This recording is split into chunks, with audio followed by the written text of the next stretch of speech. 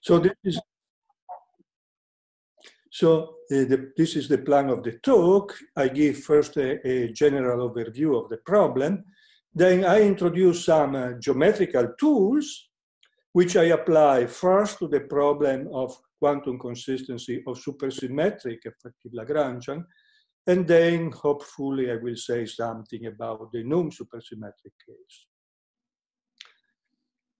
So let me record the situation. I focus for convenience on 4D, low energy effective theory. So I have a Lagrangian of this form.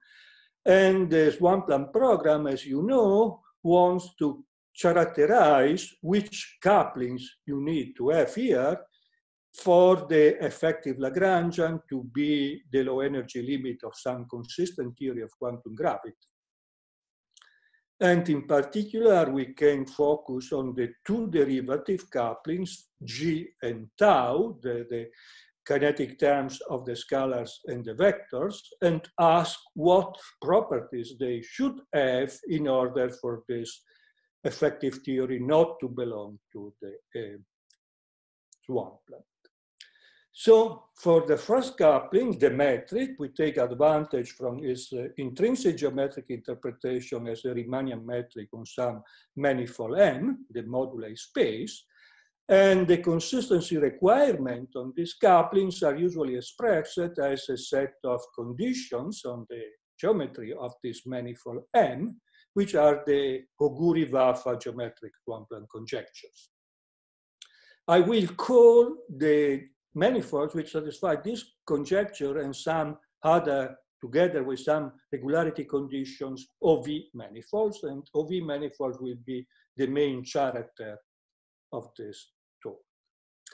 It should be stressed that tau, which is the gauge coupling, and the metric G are geometrically unified. So tau is also restricted by this Ooguri-Vafa geometric conjecture because I can compactify the theory on a large radius and for a circle of large radius and consider the 3D effective theory, which has a moduli space of a larger dimension. M is the dimension of n, h is the number of vectors in four dimensions. So this is the, the dimension of the uh, moduli space in three dimensions, and this is a fibration over R times n, and the fiber is a contact Néel manifold uh, with a, a transverse holomorphic foliation. There is a Reeb vector and the leaf space is holomorphic space, which is indeed an h-dimensional abelian variety.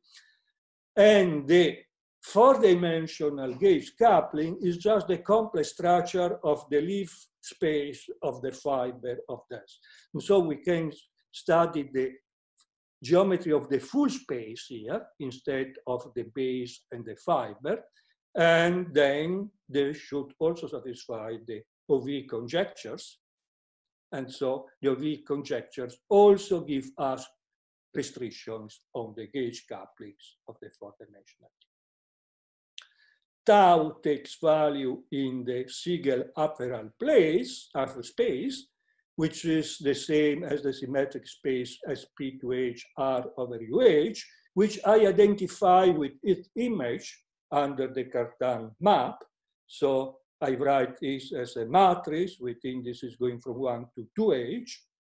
And this is much more convenient than this because the observable contains the gauge coupling through its Cartan form, not this one. So for instance, to give an example of observable, the same entropy function of an extremal black hole as the leading behavior for large charges of this form, where here the matrix which appear is the inverse of the Cartan gauge cap. And, and, all other things which are observable are written canonically in terms of x rather than tau.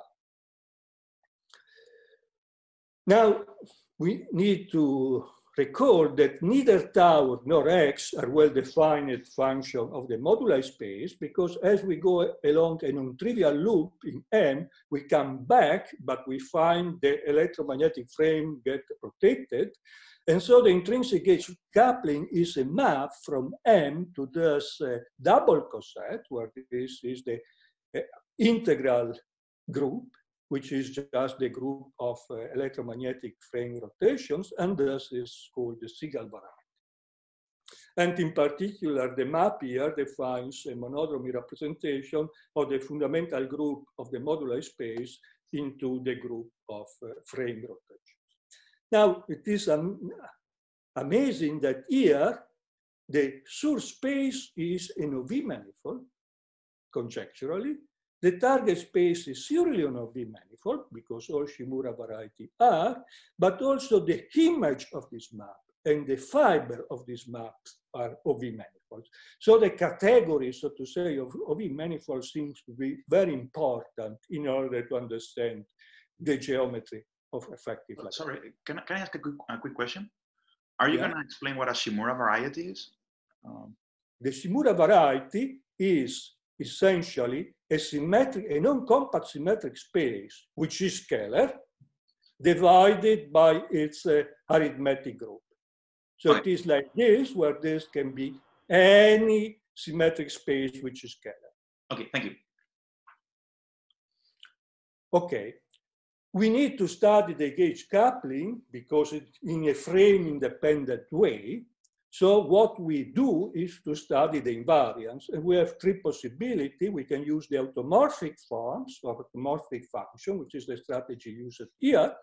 We can use the F strategy that is use the fact that the coupling constant is the moduli of abelian variety and consider a, a, full space in which the fiber is the abelian variety, like in F theory we consider a, an elliptic fibration and study the geometry of the full space.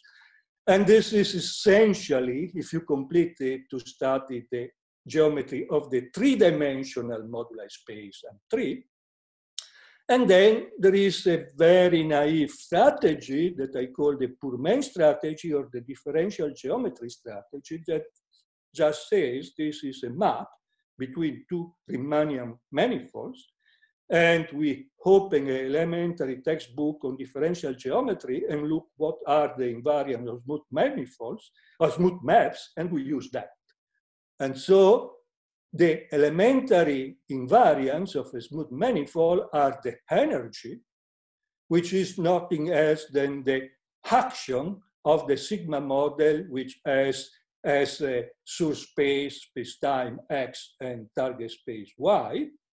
And from the energy or action of the sigma model, we construct a tension field, which is just the left-handed side of the equation of motion. So a a configuration or a map is a solution if and only if the tension is zero, by definition. And if the map has tension zero, we say that is an harmonic map between x and y. So this is the basic uh, elementary invariant of a map. So we can ask a very elementary question in the Swampland story. What can we say about the energies and the tension fields of the gauge couplings which are allowing a quantum consistent for the effective theory? The question is elementary, the answer is not, because what you learn is that there is a discrete subset, of the positive real numbers, which are the possible energies that a consistent gauge coupling can have. And this subset here is very subtle. So we have discrete energy levels for the gauge coupling, and what is exactly the spectrum is a deep, a deep uh, question. I will not enter into example and situations. Now, I will split the discussion in three cases. One is when the, our effective Lagrangian has eight or more supercharges. In that case, everything is really clear and pretty well understood. And essentially, the statements are facts from a mathematical. Can I, can I ask a, another question about we just the, the previous slide? So this discrete set of energies, can you relate in any way with quantizing the um, the uh, the effective action or something like this, like well, the energy levels of some Hamiltonian? in the That is the idea we have in the back of our mind, that we have no proof at the moment. In the simple cases, an example, you can do like that.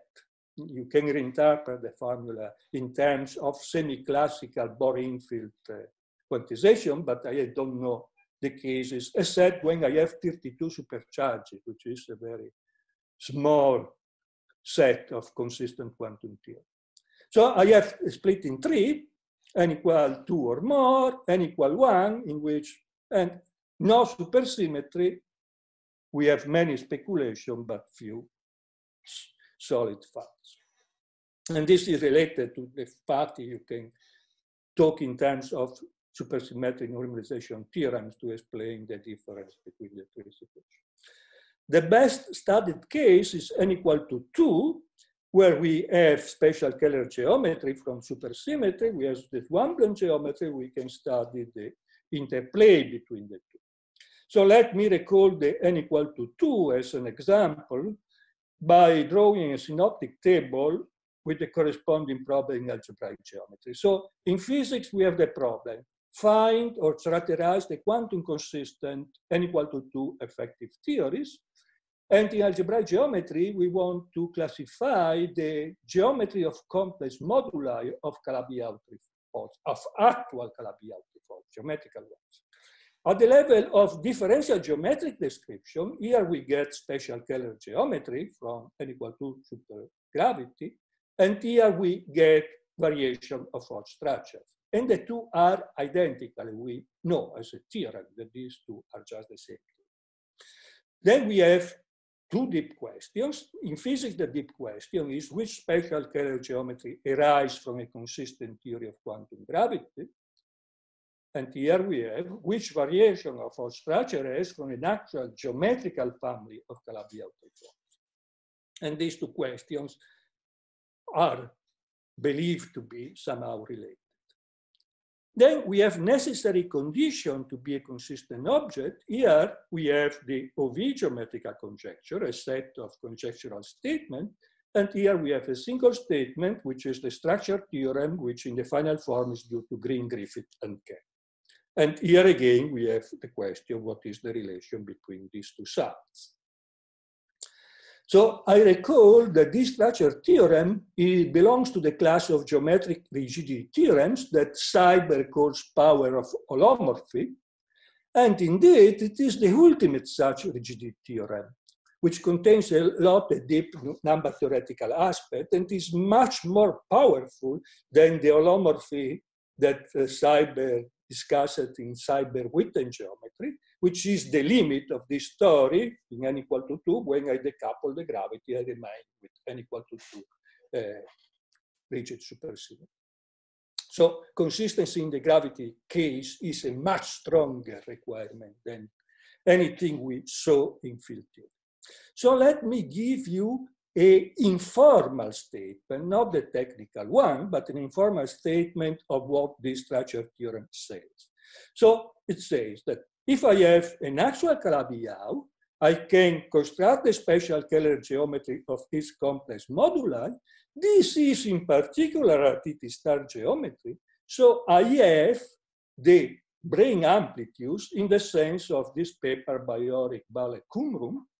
That is, they are just the, the flat solutions to the, this uh, equation where this is the TT star last connection. And what the theorem says is that the original uh, special Kähler geometry arises from a geometrical Calabi-Yau. These branes amplitude have the physical expected properties. If they have not the correct physical properties, you are sure that that special Kähler geometry does not arise from a geometrical Calabi-Yau.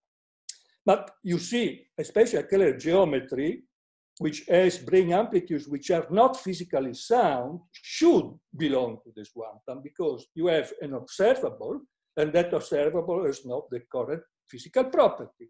So I am inclined to think of this theorem as really a, a, strong statement, a fact about quantum consistency, not just a conjecture, because you just say compute some observable, if it is crazy, your theory is crazy.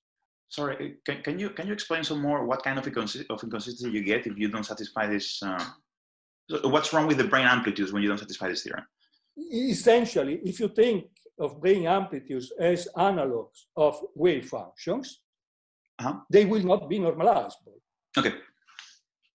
So you cannot interpret them as uh, matrix elements in some Hilbert space or things like that. Okay. Thanks. So what is the relation between this uh, structure theorem and the OV Van Planck conjecture? Well, the implication on one direction is pretty easy. This structure theorem implies the OV conjecture. But the interesting question is if we have an implication in the other direction. And for a long time, I had the feeling that the structure theorem was actually stronger than the OV conjectures. And my feeling was based on the naive and totally wrong idea that the OV conjecture are just some qualitative general property of M and not a very detailed description. And instead, the GGK theorem is a very detailed description with many, many things attached to it. However, to my surprise, the inverse implication is actually true. So the structure theorem and the Ooguri-Vafa geometric conjecture for n equal to 2 are exactly equivalent. And so I should make my apologies to Ooguri and Vafa because I overlooked how deep and strong the statement were. But no need for apologies. I had the same view as you did. So okay. But are you going to explain this fact or, or this relation or you Well, more generally, because I want to do more generally than equal to 2.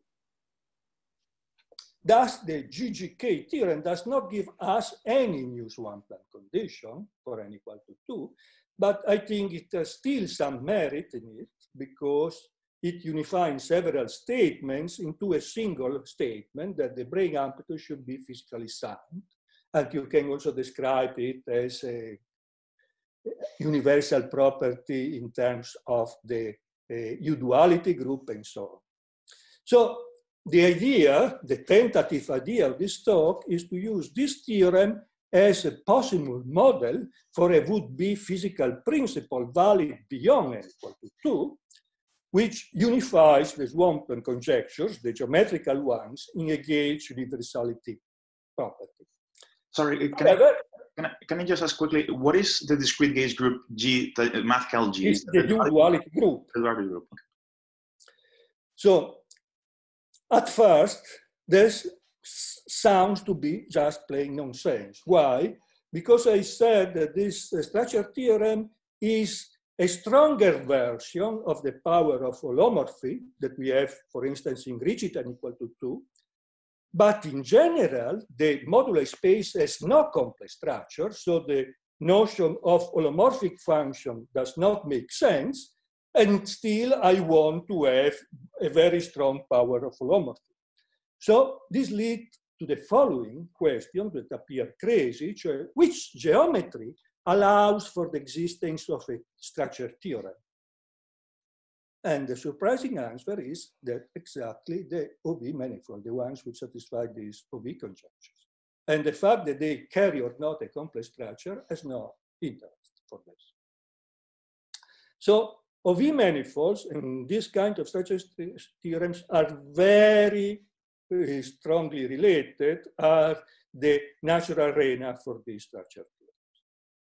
In fact, we have this kind of uh, natural generalization, a web of natural generalization. We start with the quantum consistent special Kähler geometry. We have TT star geometry of arithmetic form, which means that they are just quantum consistent. Here we have the corresponding for variational structure. Here we have a general uh, geometry, which is called by mathematician X-bundle geometry, but we'll call TT star by abuse of language because I will use the same language and the same notation as for TT star. But there is a further generalization. So, and why in this sorry. part Can- geometry you need your space to be complex, this works even if the space is not complex, has no complex structure. Please? Yeah, one question. When you say the Ooguri-Vafa conjectures, are you also including that the volume has to be finite? Yes, I, I, I will make the, the technical definition later. This is just an introduction. Okay, I was wondering, like for example, that one, when we compactify a circle, the volume is infinite, but still we know that circle compactification of M theory is I will discuss that in detail. You don't, when I go to the technical part of the talk, let me conclude the generic propaganda before. Okay, so this is the, the picture. These four require a complex structure to make sense, but these do not require a complex structure. And indeed, the first four arithmetic geometry in that diagram require M to be Kähler and to be. In the last generalization that I call domestic, because I don't know a better name, we drop the Kähler condition, but keep the OV1. And the point is that the structure theorem survives with absolute no change to each generalization in the WEMP, including the last one. This is due to the fact that OV manifolds have rather magical properties that I have overlooked, but now I will describe them, some of them. So I end this introduction with a speculation and the fact. The speculation is that this domestic geometry is really relevant to understand the Swampland conditions in general. And the fact is that for all supersymmetric theories, including n equal one, including the cases in which the moduli space is not a complex manifold, it is exactly true. So at least for all n but zero, we know as a fact that this geometry is the relevant one. Even when there is no complex structure in the uh. So let me go to the technical part. So now I give you what I mean by OV manifold. And it's a complicated definition, as you see. So the point is, you know, V manifold, and a positive dimension of V manifold is a connected, complete Riemannian orbifold, which has a smooth, simply connected uh, cover like this, where this is the Rham decomposition with F the flat uh, uh, factor, but also that is crucial, a smooth finite cover of this form, such that the flat factor here is either trivial or the real line, notice that this is not divided by anything. And all other factors in this product here are complete non-compact manifolds of finite volume. Then we have another conjecture, which is essentially the, the fundamental group conjecture. It is not even written explicitly for brevity. And then we have also this condition, which is the regularity condition, that the Ricci curvature is bounded below by a negative constant. However, notice that in general, there is no upper bound. For instance, when I go to a conical point in a Calabi-Yau modular. So this is my definition of what I call OV space. In fact, it is rough because I have not said which singularities I allow.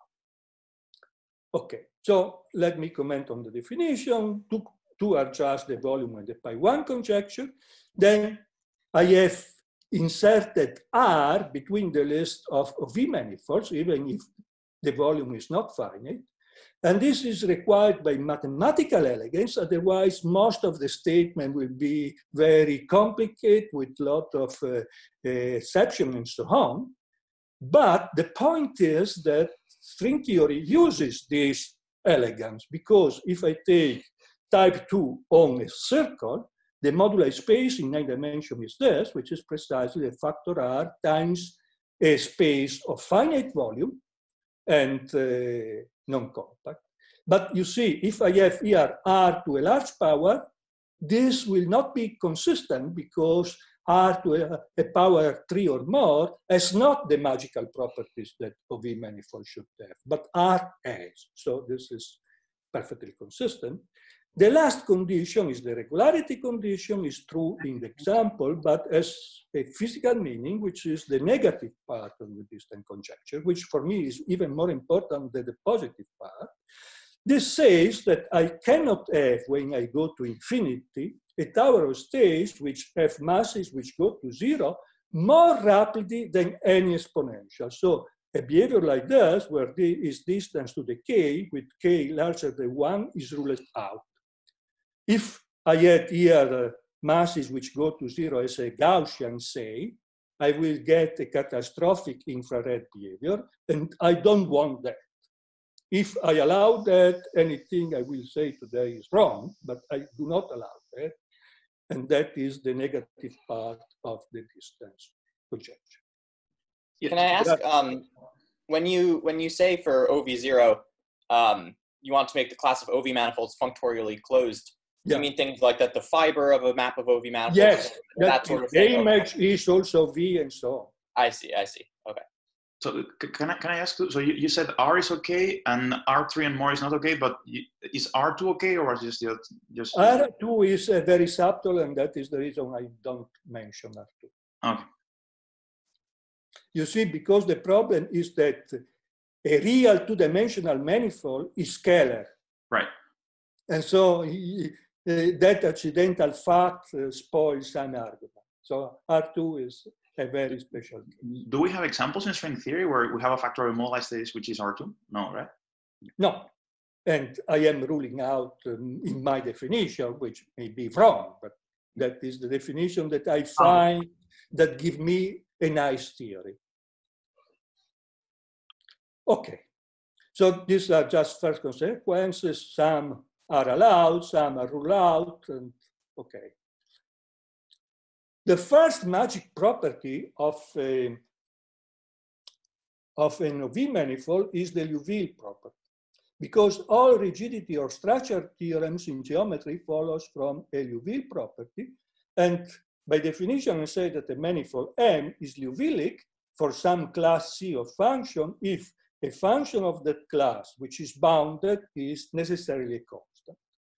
So OV manifolds are Liouvilic for all subharmonic functions. That is, on an OV manifold, I have a function whose Laplacian is non-negative and is bounded, that function is a constant. And many properties that we need physically are proved using this fact, which is, by the way, a theorem by Young. If you compare with Seiberg-Witten geometry, also uh, the Coulomb branches in rigid and equal to are Liouvilic, but are Liouvilic for a much smaller class of functions, so it is a much weaker condition of the one which To state the other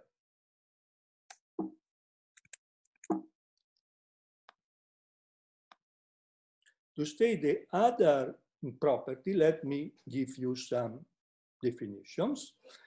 So I consider now maps between OV manifolds and local symmetric OV manifolds of the arithmetic type, so some symmetric space divided by the arithmetic group, and the most important case is the gauge coupling itself, which is this form. The manifold M the subspace carry an algebra P of parallel forms that in the physical situation are determined by the uh, representations of the scalars under the continuous part of the gauge symmetry, so it's a datum of physics.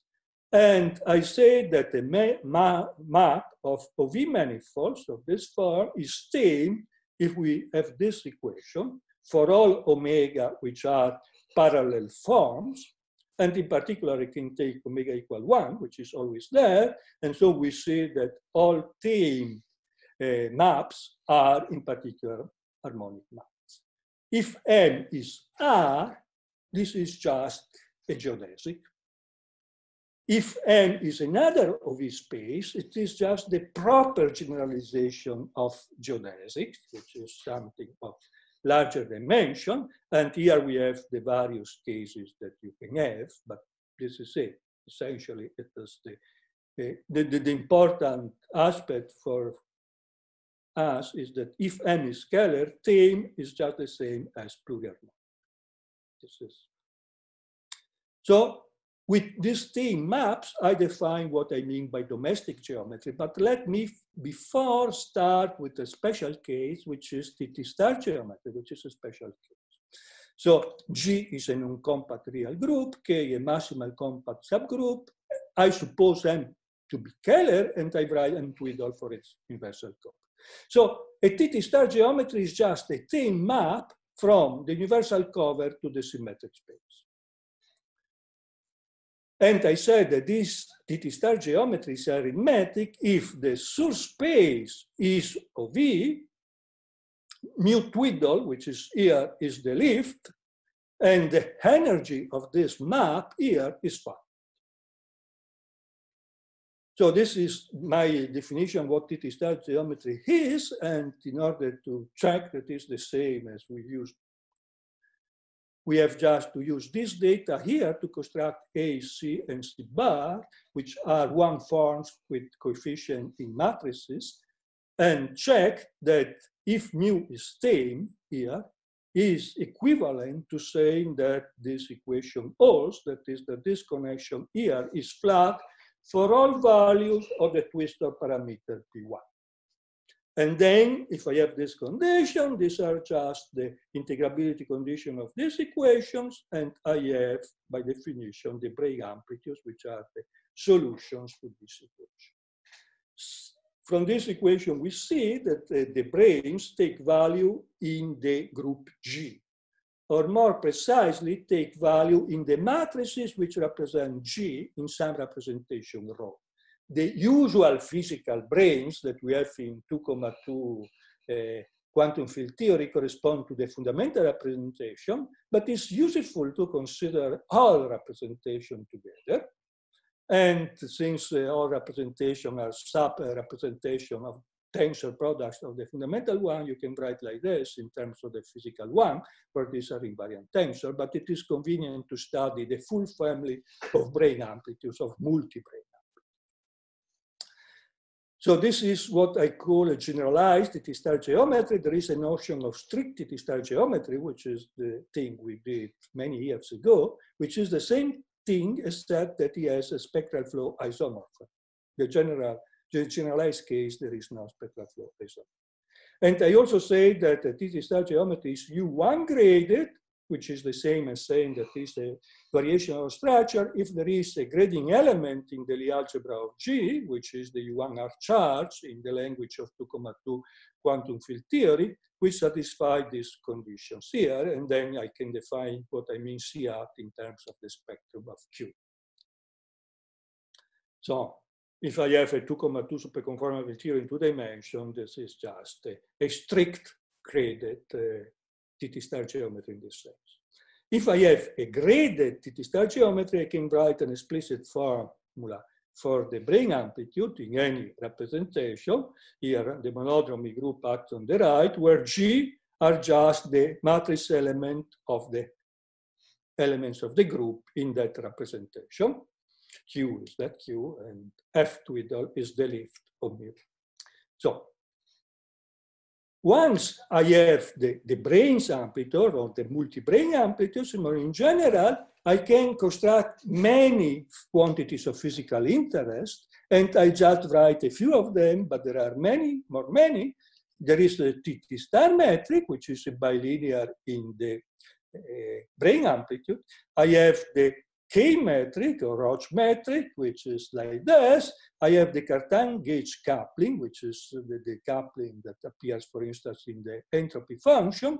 And this is also a bilinear in the brane amplitudes, but a different one. And I can just extend, this is in the fundamental representation, and extend to an arbitrary representation and say that these are I gauge coupling, which are very useful for many. So I have this fact, which is true in all generalized TT star uh, geometry, that the generalized entropy function, this is the entropy function up to pi overall, if this is the fundamental representation, otherwise I can define for any representation, is subharmonic for all representation in all choice of the charges. And recall that OV manifolds are Liouville's for subharmonic functions. So if this function is globally defined and bounded, it is a constant. And this is the way we uh, construct our rigidity theorem. This function is rigid, it's a constant under this condition. And indeed, right. what you can I ask a quick question? So the, yeah. the, the, generalized entropy functions, can I understand also as entropies of some other objects like black strings or whatever in the theory? Well, in the n equal 8 case, you have the leading uh, behavior, and then you have corrections, and you can write the correction using these functions. Mhm. But it's a complicated formula. But the, the, the blocks that enter in the correction are the Eiger gauge coupling. But for me, it's a technical quantity to study the, ge- the geometry in a combinator.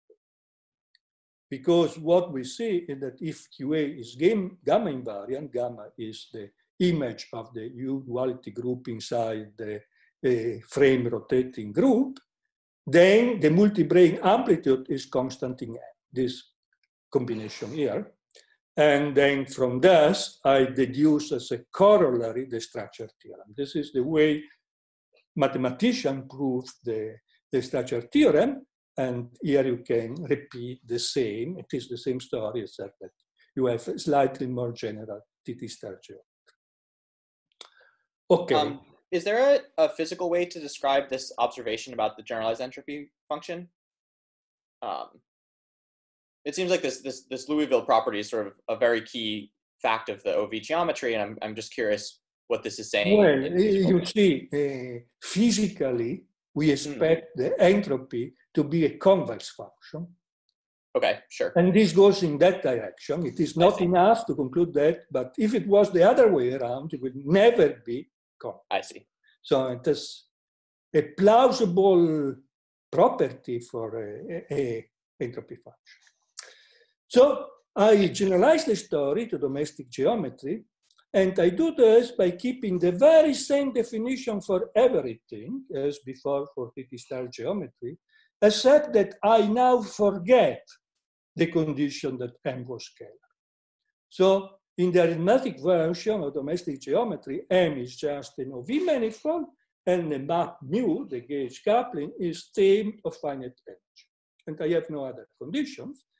But I construct exactly the same quantities as in star using exactly the same definition. I have brane amplitudes, multi-brane amplitudes, TT star metric, that now I call domestic metric, decay metric, entropy function, generalized entropy function, except that now I have not the full twistorial family of uh, branes because that arises from the action of U1R, and I have not U1R if my manifold is not Kähler.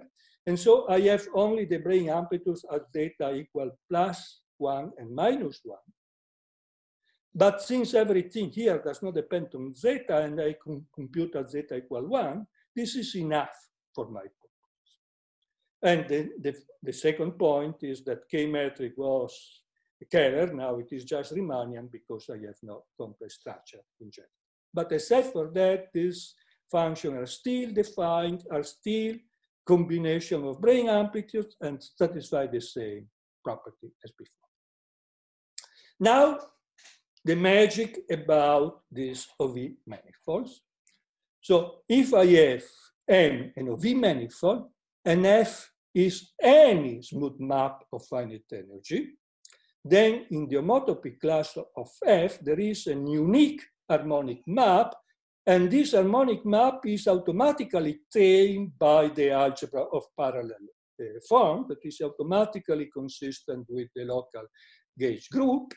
And so we have one arithmetic domestic geometry per homotopy class of maps containing finite energy ones, or if you wish, we have one domestic geometry for monodromy representation like this, which contain, which is consistent with finite energy. In fact, we have even more stronger rigidity theorems that I will not work here, if this is big enough, if the fundamental group is big enough. This is heuristic proof, I will jump over it. Now, using this, you see that in general, any finite energy map can be continuously deformed and so approximate by an essentially unique T map that is any possible geometry you have here, it is the deformation of a unique canonically defined domestic geometry. In particular, in the case of n equal to 2, we know from supersymmetry that the map mu is harmonic, and so by this result should be, if your space is OV, your moduli species of V should be the unique one which satisfies the structure theorem. And so you get the implication the other way This is the domestic structure theorem, is the same statement I have in algebraic geometry for the moduli space of projective variety, identical. The only thing that changes is the hypothesis, and here is not the moduli of a projective variety, it is in OV space, and this is not a period map in the Griffiths sense, but it's a T map of finite energy. But the statement here is exactly the same. And also the consequences are exactly the same. So we see that uh, the structure theorem holds any time we have a harmonic map of finite energy with source and OV Okay, so this is the end of the geometric story. Let me go to application to physics now. I start with the case of supersymmetric theory that I understand better.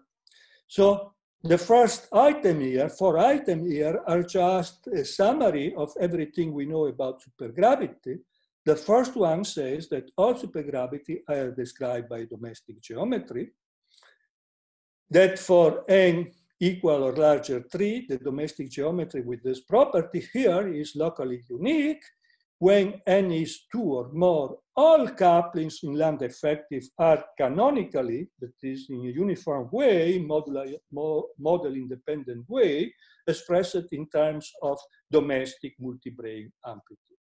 In the case of n equal to 2, we know that the kinetic terms are given by essentially the TT star metric, which is a bilinear in the brane amplitude. The gauge coupling is also a bilinear in the gauge coupling, but all couplings are expressed in terms of brane Now, if this uh, uh, domestic geometry is non-arithmetic, that is as bait brane amplitude, this falls in the one. Vice versa, if that the supersymmetric Lagrange satisfies the OV geometric conjecture, then its domestic geometry is arithmetic. So the same story we have n equal to 2, it is true for all n. And said that you have to interchange TT star with domestic. This table here is goes to all examples and say which kind of domestic geometry you have, and when it is a variational structure, what are the Hodge numbers and also the Mumford groups. It is written when it is local unique, when it is a Shimura, and uh, in red are the cases in which the modular space has no complex structure. And you see that in all cases, everything works. In particular, all for this supergravity have gauge couplings which are harmonic, so a solution to the sigma model or a zero tension map and this is a partial answer to the Pourmain's one Planck question that says the retention of the gauge group vanish in the supersymmetric case and the energy is finite, but we have still to understand the energy spectrum that we do not know. So this fact here is true for all supergravity, but it's not satisfactory because we are treating the two gauge group, the two coupling G and mu asymmetrically, one as a background metric in the modular space and the other as a field in the, mm, in the modular space, and they are on the same footing in the quantum story. So we want to promote even the metric to be a, a field on modular space. So we look to something like this and ask if possibly the metric on the moduli and also the coupling constant, uh, the gauge coupling constant and mom are just a solution to a Lagrangian like this, where kappa and lambda are appropriate numbers. This is naive because the analysis of the three-dimensional case will suggest that we have extra fields on the moduli space, but let's try with this. And the answer to this question is yes. For n larger equal to, Hall couplings in land effective are expressed in terms of multi-brane amplitudes of the arithmetic domestic geometry, which is associated to a solution of this theory here, this classical theory here, living on moduli space. You can check that this theory in moduli space also satisfies the OV conjectures. Okay, the claim is easy to prove.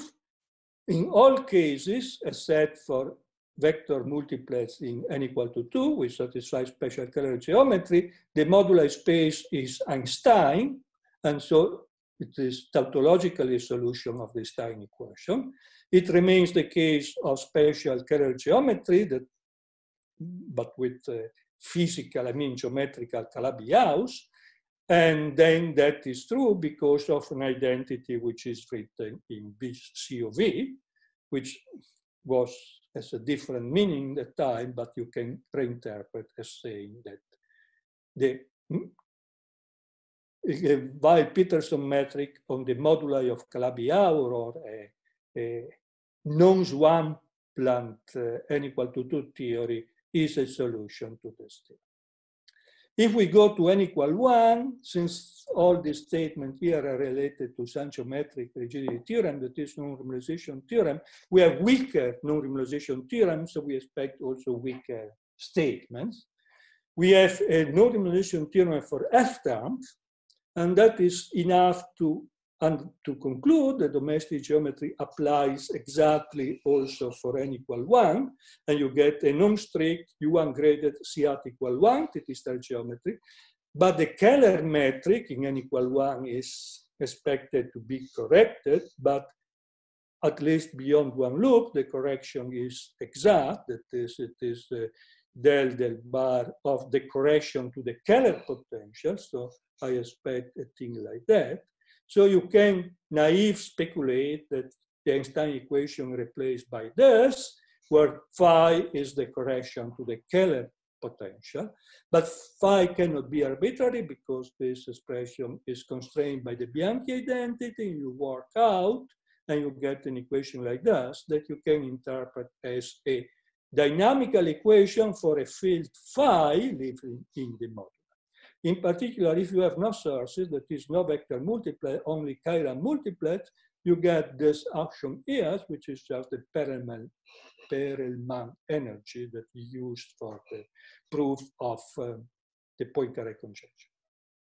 So this is not so rigorous as with larger supersymmetry, but at least we recover the number of uh, degrees of freedom we expected of the modular space, so maybe it is on the right. Now, I have some speculation on the non-supersymmetric case but I will go quick because I have no time. So the idea is that domestic geometry is relevant for n equal to zero, but with some qualification. The motivation, the most naive one is, well, the statement makes sense for n equals zero is true for any other value of n, so why not continue down to n equals zero? There are a bunch of heuristic arguments that suggest that something of this kind should be true because the point is that physical observable computed using domestic branes have a very good physical properties. Essentially, they have the good properties of supersymmetry without the problems of supersymmetry, like super partners and things like that. So whenever these good properties are required on physical ground, in some sense, domestic geometry is uh, the natural answer why this should be true. So this is uh, some heuristic thinking.